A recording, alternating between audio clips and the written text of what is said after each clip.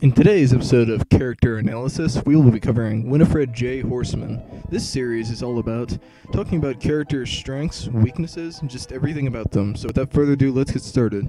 Winifred J. Horseman first appeared in the episode of the first episode of the British Horseman show being called Morning Routine, which was later changed to Morning Manic. This episode appeared on February 29th, 2020, a leap year in the first four in the in the since 2016. Winifred's favorite genre of music is classical music, although he dis- he also seems to have an interest towards uh, Japanese power metal and even the NWA for some reason. Because once he listened to "Fuck the Police," and I don't even know why that happened at all. That's very very strange, since he doesn't seem like the type of person to do it. Winifred was first born in Manchester, England, in the year 1508. He was enchanted and became an immortal, so now he's over 500 years old and he is never going to die. Although his brother Alistair Horseman is some way not the same. Winifred is not very smart. If, if I were to rank him on a scale of 1 to 10 of how smart he is, he would probably be a 2. He's done various stupid shit all the time.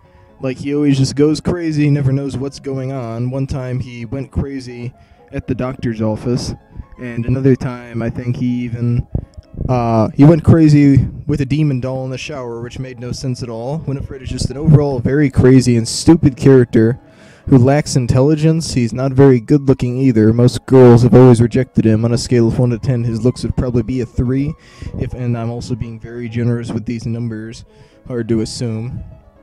Winifred's usual attire is very weird. He only wears a pair of socks and sometimes um, different colored underwear, ranging from boxers to briefs. The reason why Winifred wears this type of clothing is um, the answer is nobody knows.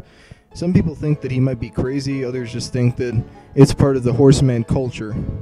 Winifred used to be human back in the day and back in 1508, but he was enchanted and he became immortal. But the price was he became half horse, so now he has the body of an, a man and the head of a horse. His name used to just be Winifred Man, so now it's been changed to Winifred Horseman on his birth certificate. The J in his name stands for jackass. Even though he's a horse, he always acted like a jackass like donkey. He's not very strong either, as you've seen before. His strengths are zero to nothing. He's been able to hardly lift up anything, and he's always tried tried to fight people. Died in fights a lot. Was never strong at anything. His skills in video games aren't very good either.